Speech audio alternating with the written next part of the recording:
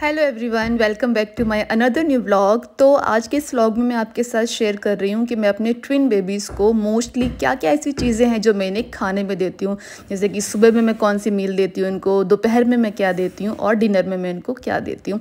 तो अभी ना सुबह का टाइम है और मैं इनके लिए बना रही हूँ यहाँ पर रागी का हलवा, जिसके लिए मैंने रागी को थोड़ा सा भून लिया घी में और उसके बाद मैंने इसमें ठंडा पानी डाला जल्दी जल्दी ताकि उसमें गांठे ना पड़े, गुठलियाँ ना पड़े फिर फटाफट से मैं उसको स्टिर करती रहूँगी, चलाती रहूँगी चलाती रहूँगी, उसके बाद ये रेडी हो जाएगा। तो ये रागी रागी बहुत अच्छा होता है, उसके बहुत सारे बेनिफिट्स होते हैं। तो ये बच्चों को खिलाऊँगी मैं।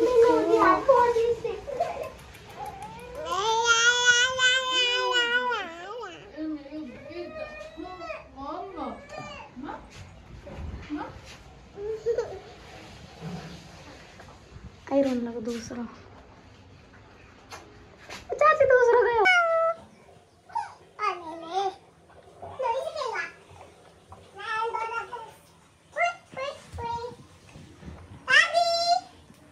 सो so, मेरे जो ट्विन बेबीज़ हैं वो साढ़े पाँच या छः बजे या फिर साढ़े छः मतलब इसी टाइम पर ये उठ जाते हैं। साढ़े पाँच बजे के बाद ये थोड़ा हो जाते हैं कि हाँ अब ये उठेंगे। उसके बाद ना जैसे ये उठते हैं तो मैं इनको दूध देती हूँ। अभी मैं इनको बॉटल ही फ़ीड करा रही हूँ। पहले मैं इनको पम्प करके देती थी अभी मैं इनके लिए काव मिल्क जो है वो मैंने शुरू कर दिया है। तो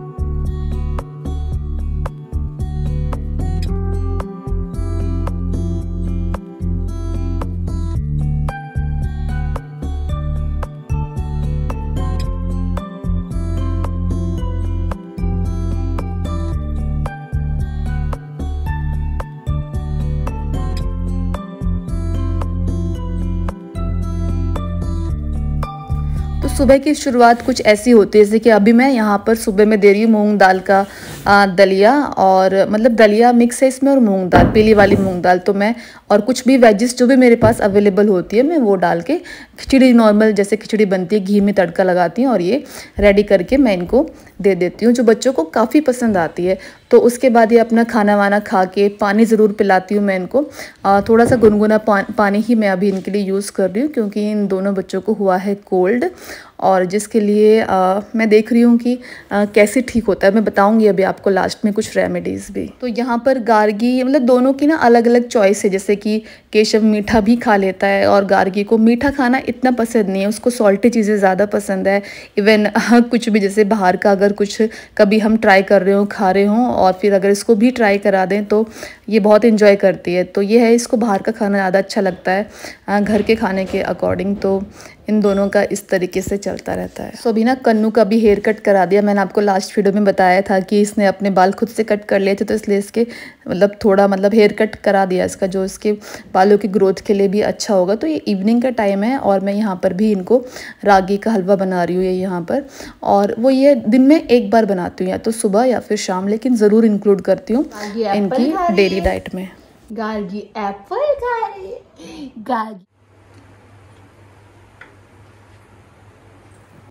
सो so, अगर मैं कुछ भी बना रही हूँ जैसे कि मैं बड़े बेटे के लिए कुछ पैन केक टाइप का बना रही हूँ तो वो मैं थोड़ा हेल्दी सा बनाती हूँ ताकि बच्चे भी खा लें। तो इस तरीके से क्योंकि मिर्च वगैरह मैं नहीं डालती और मतलब तीनों बच्चे खा लेते हैं। उसको थोड़ा बहुत छोटे बच्चे जो हैं दोनों ट्वेंस तो वो भी टेस्ट कर लेते हैं। तो इसके लिए रागी है, सूजी है, दही है, इन सबको भिगो के थोड़ी देर के लिए रख दिया। थोड़ा बहुत नमक डाला और बस। वेजिस क्योंकि बेटा नहीं खाता तो वेजिस मैश करके ही मैं दे सकती हूँ। अदरवाइज़ उसको पता चल जाता है बड़े बेटे को। तो ये है। तो इस तरीके से मैं इनके लिए बना दूँगी यहाँ पर पैनकेक मतलब बड़े बेटे के लिए बनाऊँगी तो ये दोनों भी थोड़ा बहुत टेस्ट कर लेंगे ट्राई कर लेंगे।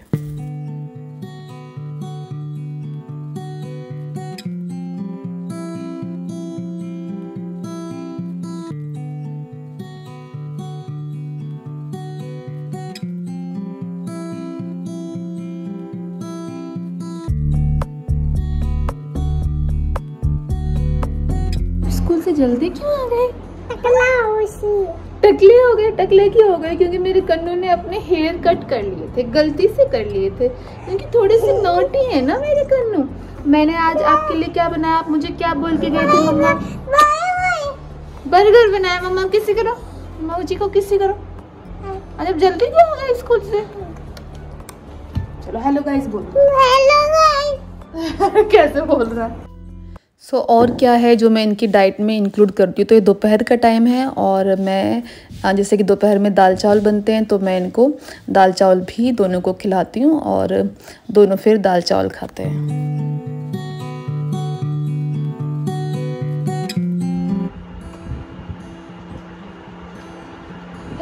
पियो किसी पियो? ये कागी है और ये केशव ये दोनों मानती है ये गागी की न्यू बोतल आई है। और केशव की भी न्यू ही बोतल है। केशव, आप अपनी बोतल में से पियो। हाँ ऐसे।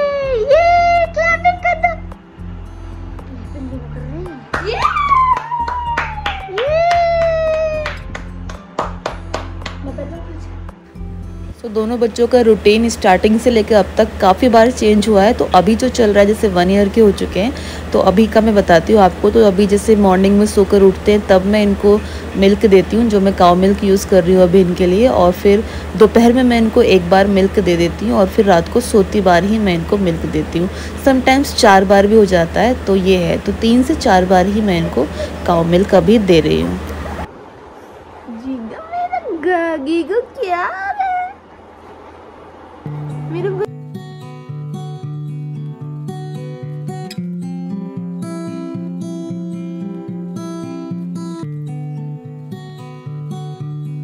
गार्गी रेडी हो गई है। गार्गी मेरी रेडी हो गई है। शाम के लिए, घूमने के लिए। हाँ। लेकिन मेरी गार्गी उदास हो रही है। उदास हो रही है मेरी गग्गो। है ना? गार्गी। हाँ? उतर के दिखाओ कैसे उतरते हो। अच्छे से उतरो, ऐसे उतरो। कैसे उतरोगी? हाँ? गिर जाओगी, वैसे ही तुम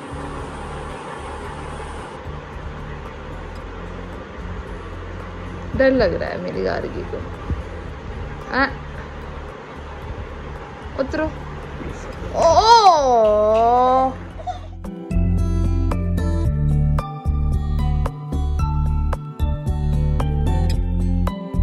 हम ऊपर जाएँगे ऊपर जाएँगे घूमेगा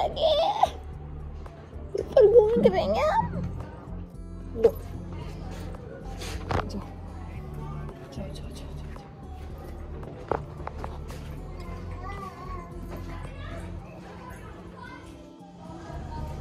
ये खेल लो थोड़ी देर। ठीक है?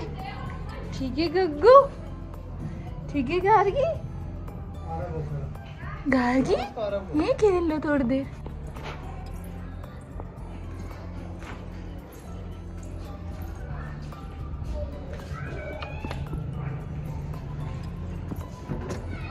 हेलो गाइस सो मैं अभी ना 10 बजे के आसपास का टाइम है, बच्चे अभी सो रहे हैं तो मैं भी उनको सुला कर आई हूँ। तो कभी भी किसी भी टाइम उठ सकते हैं तो मैंने ये यहाँ पर तवा चढ़ाया हुआ है। और क्यों चढ़ाया हुआ है? काम सब कुछ हो चुका है, पूरी किचन क्लीन है।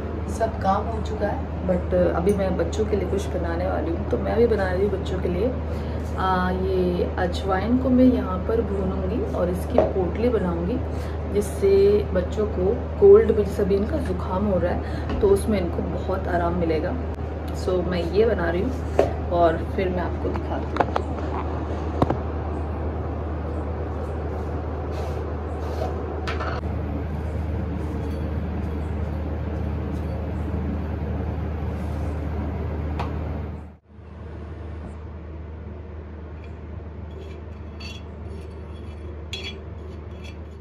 तो गाइस पोटली बनाने के लिए ये मैंने यहाँ पर साफ़ ये कॉटन के यहाँ पर छोटे छोटे से कपड़े ले लिए हैं। तो बिल्कुल साफ़ है और इसका मैंने ना एक पूरा ये यहाँ पर बंडल रखा हुआ है जो काम आ जाता है। तो मैं इसी की पोटली बनाऊँगी। तो अभी अजवाइन को मैं थोड़ा सा मीडियम फ्लेम पर रोस्ट कर दूँगी तो बस ये अभी रोस्ट हो जाएगी। तो अभी थोड़ा सा मैं फ्लेम हाई कर देती हूँ।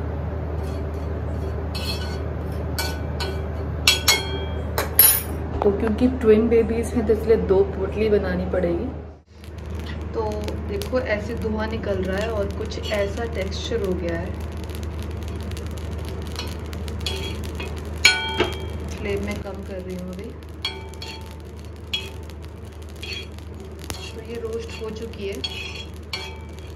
और अभी मैं इसको पोटली बना के मैं तैयार कर लूँगी।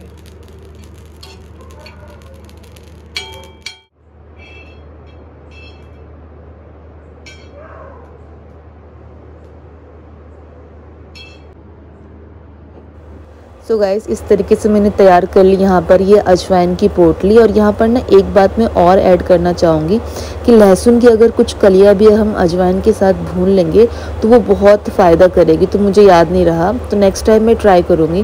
तो अभी मैंने जैसी बनाई थी वो मैं आपके साथ शेयर कर रही हूँ। तो मैंने ना ये अजवाइन की पोटली इनकी नाक के पास रख दी और मतलब जब मैं सुबह उठी ना, मैं तो इनको, जैसे इनकी बहती हुई नाकों, नाक से बहुत आराम लगा। इतनी नाक इनकी नहीं बह रही थी और इस पोटली से हल्की गुनगुनी जब होती तो उससे बच्चे की सिकाई भी कर सकते हैं। तो फिर मैंने ना ये नेक्स्ट ये ऑयल भी तैयार किया था। बच्चों के लिए सरसों के तेल में अजवाइन और लहसुन को मैंने अच्छे से भून लिया था। और फिर हल्का गुनगुना जब था वो तो मैंने उससे बच्चों के तलवों की, बच्चे की छाती पर थोड़ा सा लगा दिया, तलवों की मसाज कर दी, हाथों पर थोड़ा सा, हथेलियों पर लगा दिया। दोनों सो रहे थे, दोनों की आँख ना खुल जाए तो बस मैंने ऐसे थोड़ा हल्का हल्का लगा दिया और इसकी खुशबू से, इसकी गर्माहट से बच्चों के सर्दी में मतलब बहुत आराम लगा है। तो अभी पूरी तरीके से तो ठीक नहीं हुआ है, क्योंकि घरेलू नुस्खा धीरे धीरे ही आराम करेगा। तो जो मैंने रेमेडी फॉलो की गाइस वही मैंने आपके साथ शेयर किया। आपको कैसी लगी आज की वीडियो मुझे कमेंट करके ज़रूर बताना। मिलती हूँ नए अच्छे से ब्लॉग के साथ।